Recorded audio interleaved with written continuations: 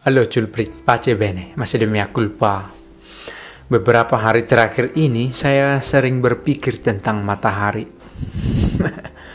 Orang sering berkata matahari datang dari timur lalu pergi ke barat atau istilah lain eh, matahari terbit pagi hari dari timur dan terbenam sore hari ke barat atau matahari eh, tiba dari timur lalu pergi meninggalkan kita pada sore hari waktu barat.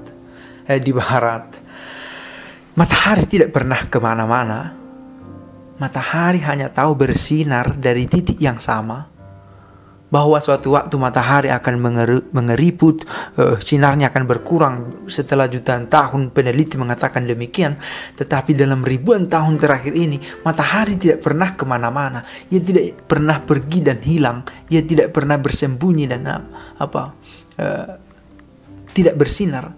Dia selalu sama dari pagi sampai pagi, dari malam sampai malam. Yang berbeda adalah bumi berputar mengelilingi matahari atau berputar pada porosnya. Berrotasi dan ber apa namanya? Berotasi pada porosnya lalu mengelilingi eh, matahari.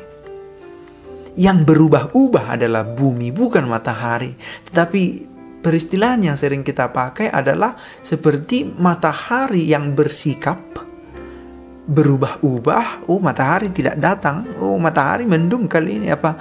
Matahari tidak bersinar hari ini. Matahari tetap bersinar. Bumi yang berubah-ubah. Nah, apa permenungan yang saya ambil dari sini? Allah itu selalu sama dari dulu, sekarang dan kelak. Yang berubah-ubah adalah kita. Ketika coronavirus datang, Orang berkata, oh Allah marah. Allah begitu-begitu saja dari dulu mencintai kita. Tidak pernah berpaling. Dia tidak bisa mengkhianati dirinya yang adalah cinta. Kita yang melakukan kesalahan dan kita akan menanggung kesalahan itu. Akibat dari kesalahan itu. Apakah ini kutukan dari Allah katanya? Dalam teologi perjanjian lama ada dikatakan pembalasan. Bapak, orang yang setia kepada Allah akan mendapatkan cinta kasih ganjaran baik dan orang yang berpaling tidak setia kepada Allah akan mendapatkan hukuman. Itu adalah akibat dari keputusan bebas kita untuk setia atau untuk berpaling dari Allah. Saya tidak katakan Allah itu adalah matahari atau seperti matahari. Allah jauh melampaui matahari, tetapi kita mengenal matahari yang tetap ada pada tempatnya yang tidak berubah dari dulu sampai sekarang sekurang-kurangnya pada era kemanusiaan kita yang semakin cerdas ini. Dia tetap bersinar, tetapi ada saat ketika bumi, bagian permukaan bumi yang kita tembati membelakangi dia dan ada saat kita menghadap dia lagi. Maka kita sering mengatakan matahari terbit di timur, terbenam di barat, dia tetap di titik yang sama. Yang ada adalah matahari, eh bumi bergerak sehingga permukaannya berganti-gantian disinari oleh matahari.